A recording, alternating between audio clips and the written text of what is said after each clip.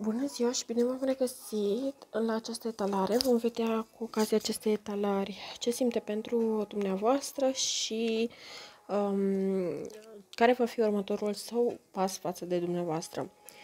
Vom avea trei variante.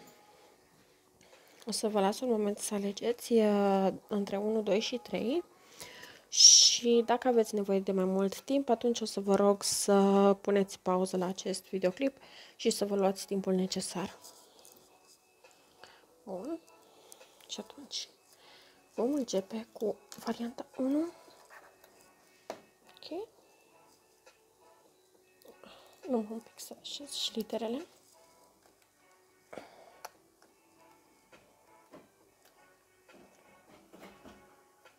Așa.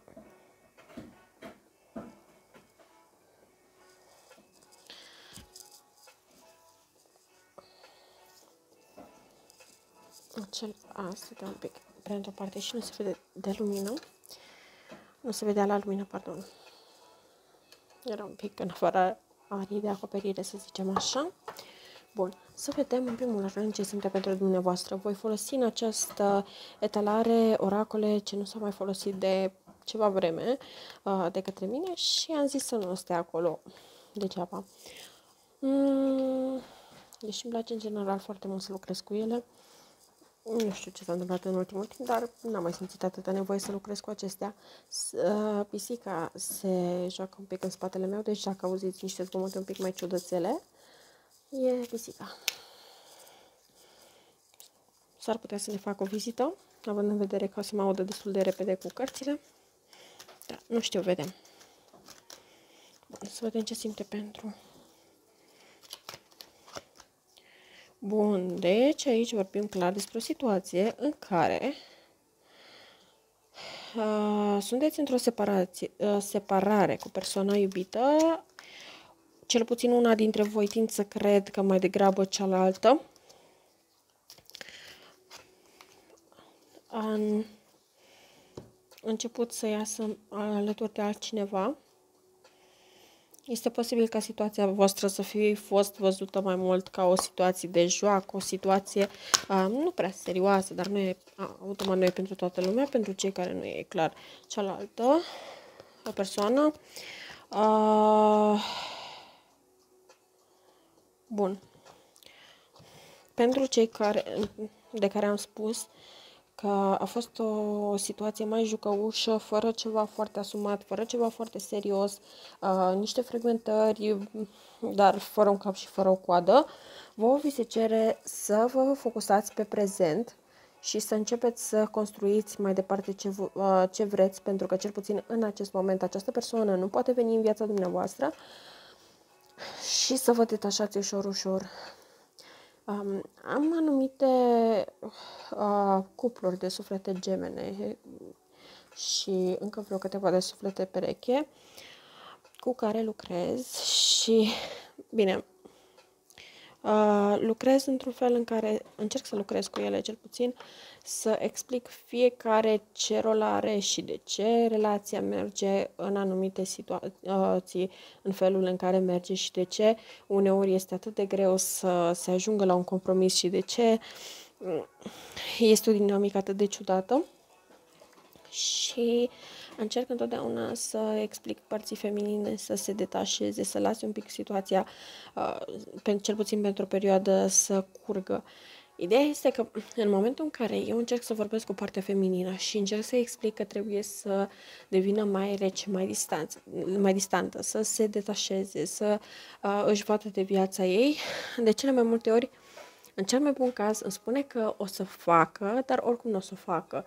Și tot cumva se uh, bate cu capul de același zi și nu înțelege de ce nu merge nici cum. Păi, Asta e dinamica. Nu am ce să vă fac, nu eu am inventat-o.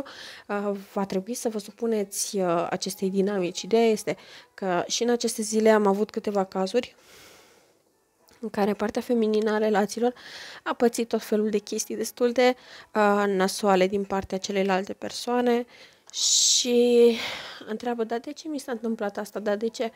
Pentru că nu te detașezi la timpul potrivit. În momentul în care reușești să te detașezi la timpul potrivit, Universul nu mai trimite astfel de um, semne ca să te facă să te detașezi. Dacă tu ai nevoie de o dezamăgire ca să poți să te detașezi și să-ți vezi de lecțiile tale karmice pe care le ai de făcut în acest moment, atunci asta va face.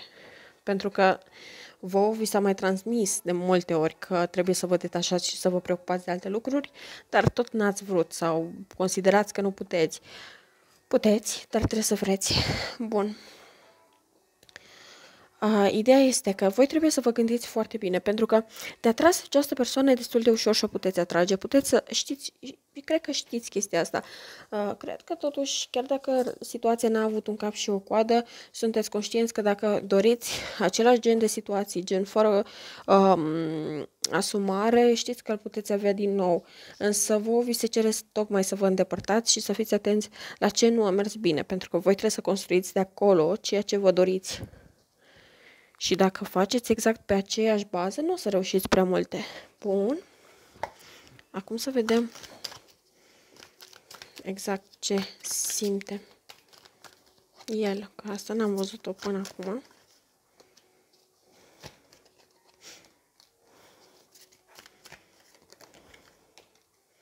Mhm.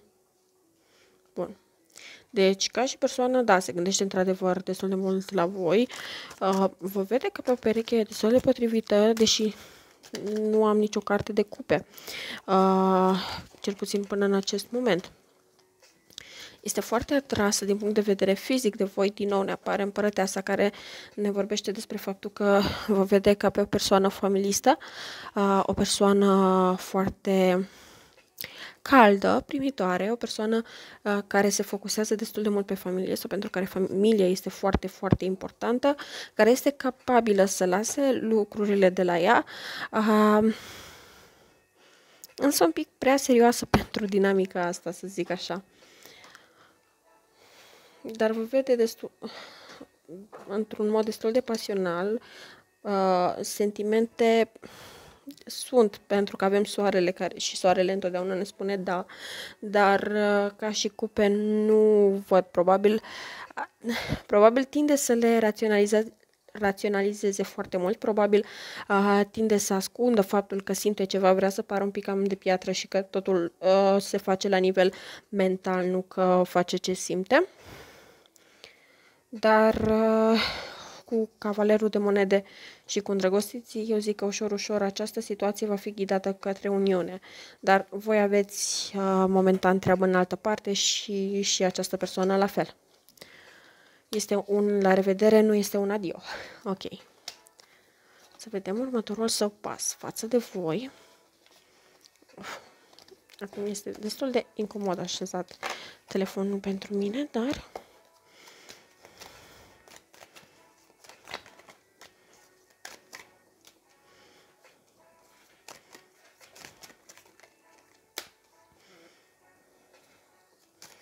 Bun, aici vorbim despre o persoană uh, care este destul de imatură în general.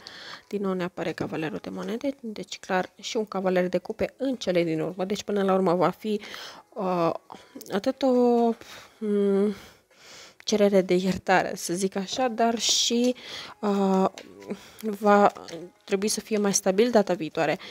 Două secunde, numai să mai pun câteva cărți aici. Bun.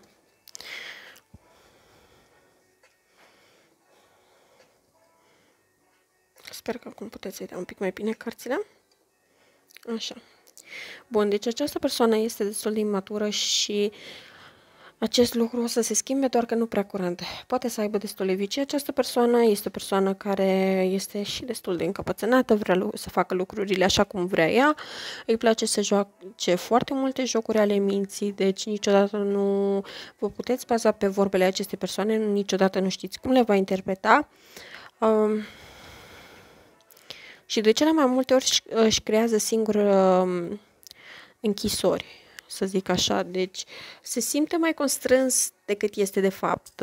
Îi se pare că totul este atât de strict, atât de strâns, trebuie să se încadreze niște norme, probabil trebuie să aibă un anumit comportament față de oameni.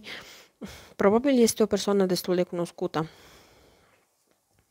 și este un pic cam prefăcută. Dar sentimente pentru voi are. Deci această persoană cu siguranță uh, vrea să, într-un fel, vrea să se abțină din a vă contacta, dar până la urmă când nu o să mai poate, o să facă, o să fie brusc. Uh, nu v-aș recomanda să, să contactați voi această persoană pentru că nu e că nu ar primi acel mesaj, ci mai degrabă că nu ajungeți niciunde și doar prelungiți suferința.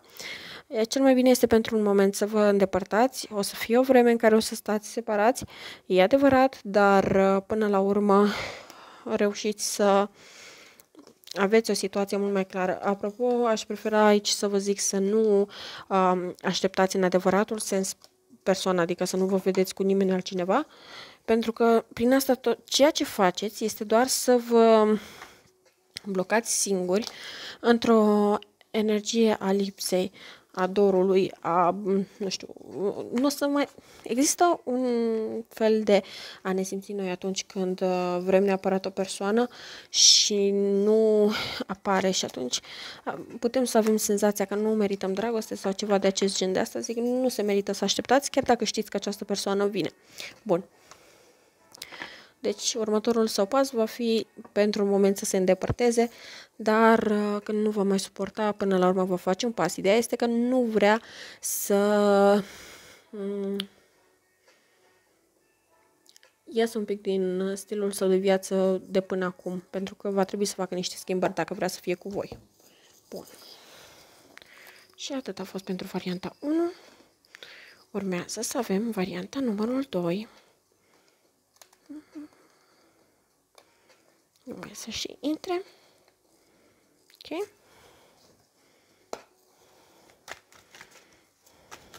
De fapt, noi am început direct întâi cu aceste cărți și abia după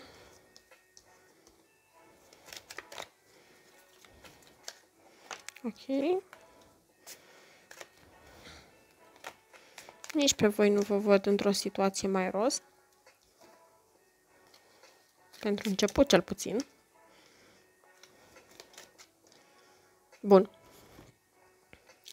Aici vorbesc despre persoane, adică voi. Sunteți persoane care sunteți un pic cam codependente de partener, uh, solicitați foarte multă validare din timpul acestuia, căutați să fiți în permanență în uh, preajma acestuia și sunteți mai mult îndrăgostiți de ideea de dragoste decât de persoană în sine. Încercați să vă eliberați din această stare de codependență și să vedeți um, cu adevărat persoana, cu bune și cu rele. O să realizați că nu este tocmai așa cum Vă imaginați voi. Această persoană știe că voi uh, vă faceți foarte multe iluzii și le hrănește într-un fel. Mm, este foarte posibil ca după fiecare ceartă două zile să se comporte foarte frumos uh, cu voi, să vă arate că îi pasă și apoi să se îndepărteze din nou și să nu înțelegeți ce se întâmplă.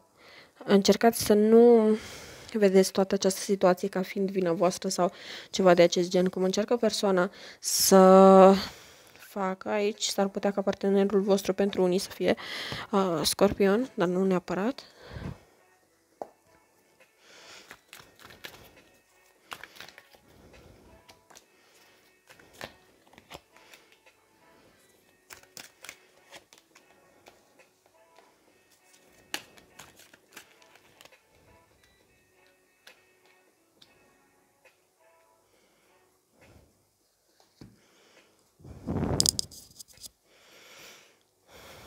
Persoana asta e destul de necunoscută pentru voi și destul de schimbătoare um, aici. S-ar putea vorbi de o situație mai oficială, dar situația oficială e strict pentru a vă ține cumva legați în această situație, să vă fie un pic mai greu să vă îndepărtați. Până la urmă vă veți îndepărta de această persoană, fie că vă place sau nu, dar uh, va mai dura. Acum să vedem exact ce simte, pentru că avem luna. Și din nou nu avem cupe.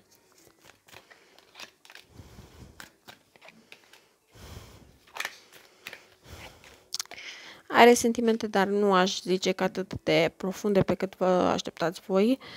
Uh, sunteți foarte, nu știu, uh, foarte puțin satisfăcute din punct de vedere emoțional și până la urmă, v-am spus, până la urmă veți decide să plecați pentru că nu este deloc ceea ce vă doriți, dar momentan vă văd într-o stare în care sunteți cu griji, nu știți ce să faceți.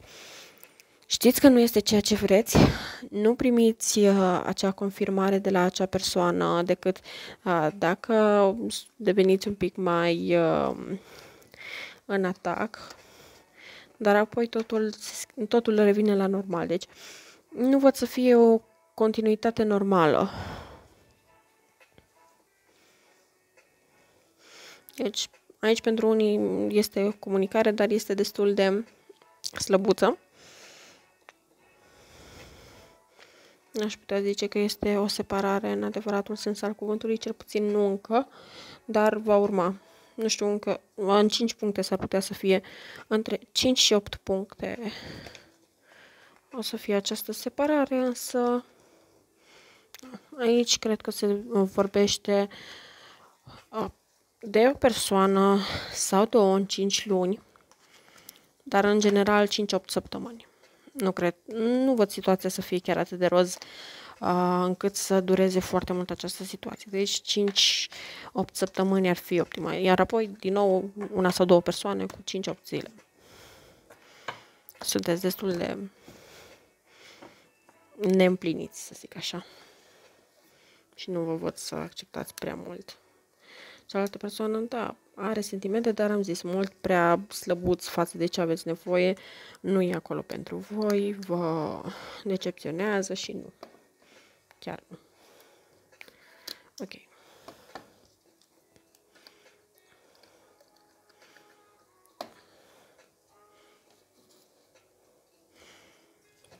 Bun. Varianta 3. Să vedem ce simte pentru voi.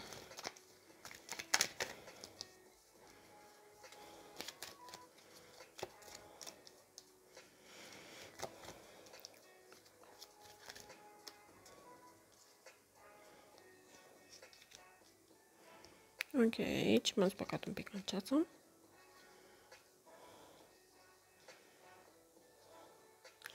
Bun, aici ar putea vorbi despre... Dar, clar, nu pentru toată lumea, dar două persoane care fi, și fiecare uh, este implicată la rândul său într-o altă relație. Deci e o situație un pic mai complicată. Uh, din nou se vorbește de persoane în plus. Din nou se vorbește de anumite lucruri uh, care sunt ca niște steaguri ce vă avertizează că nu este ok să vă implicați în situația asta. Nu știu, cumva aici uh, anumite persoane cumva nu se simt deloc împlinite și această situație este strict ca să își dea seama că de fapt merită iubire, dar nu este cel mai ok mod, adică, da, văd că este chimie între voi, dar nu văd să fie o bază foarte serioasă, uh, din contră, fie, pe fiecare l-aș vedea cu altă situație. În paralel.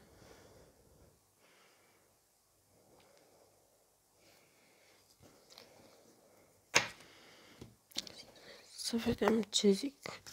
Ce zice tarotul?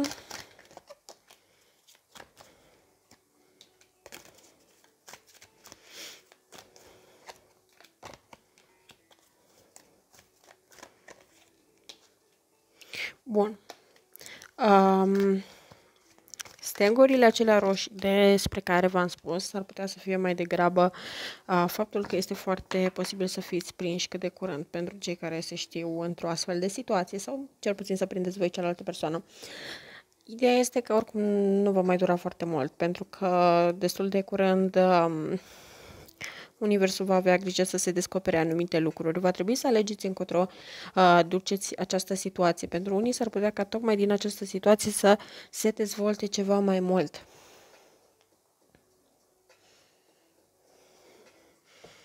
Am senzația că aici, odată cu desc- uh, ce descoperirea se face, va ține de voi, voi și numai de voi.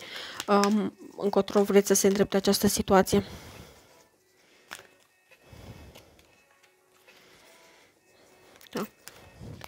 Și avem exact cunoaștere interioară, co-creează și puteri superioare. Deci aceste puteri superioare vă ajută pe voi să obțineți ceea ce vă doriți, dar și voi trebuie să lucrați la asta împreună cu Universul.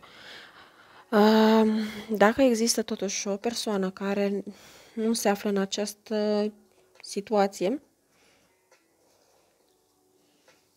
totuși să pun și această posibilitate,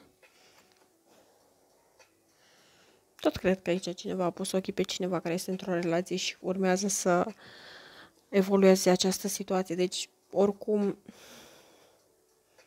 tot cam aceeași situație o văd, nu mai trebuie un pic adaptată în funcție de um, cum vă regăsiți voi. Bine, clar, aici o să fie persoane care o să zică nu, nu sunt eu, că nu are cum, că nu știu ce, că nu știu cum. Vorbim în două săptămâni, să zicem.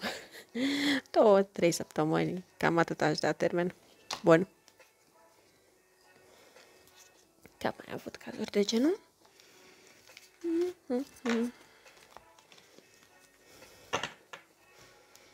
Bun. Deci cam atât am avut și pentru voi. Sper că v-a fost utilă această etalare. Uh, de, totuși n-am văzut exact ce simte acest om pentru voi.